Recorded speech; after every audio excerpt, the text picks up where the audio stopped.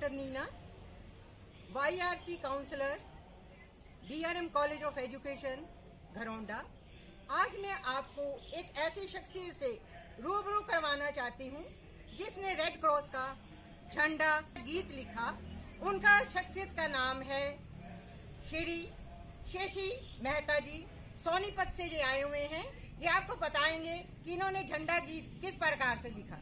बताइए sir please धन्यवाद। Red cross flag song in tuning I am speaking red cross का ये झंडा फैलाए भाईचारा आशाओं को जगा कर सेवा का दे तनारा रेड क्रॉस का ये झंडा फैलाए भाईचारा आशाओं को जगा कर सेवा का दे तनारा संधि व शांति का सूचक सफ़ेद रंग है व शांति का।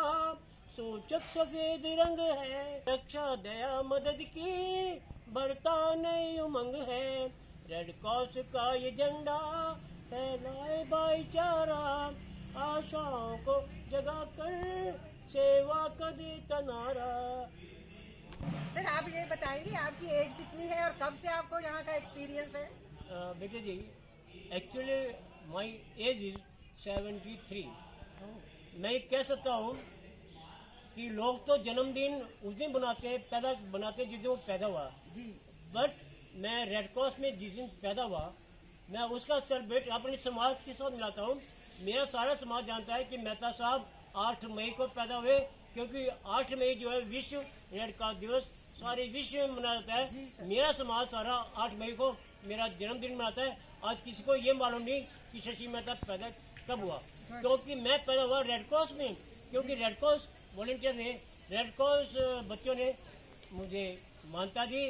जिस दिन कोई समाज मानता देता है असली तो मानव उस दिन पैदा होता है। उस दिन पैदा नहीं होता जिस दिन माँ बाप पैदा करते हैं। पैदा उस दिन होता है। जिस दिन वो समाज में समाज उसको मानता देता है उस दिन वो पैदा होता है। तो मैं प्यारे बच्चों आठ मई विश्व रेड क्रॉस के दिवस पर मैं अपना जन्मदिन समाज के साथ, जिसमें सभी अधिकारी जिला स्तर पर, राज्य स्तर पर मुझे कामनाएँ देते हैं, आशीर्वाद देते हैं। मैं समझता हूँ कि आज रेड क्रॉस में मैं पैदा हुआ।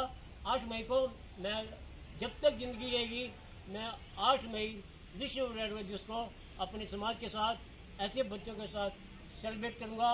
अब ये कैंप चल रहा है स्टेट लेवल पर। मैंने इनको कहा, सभी बच्चों को, कि आठ मई आने वाला दिवस आपके जीवन में परिवर्तन लाए और परिवर्तन आ गया तो समझे तुमने ये स्कारवोर पहनकर एज ए वॉलेंटियर का कार्य किया। ऐसी मेरी आपसे कामना है और मैं आशीर्वाद देता हूँ। धन्यवाद।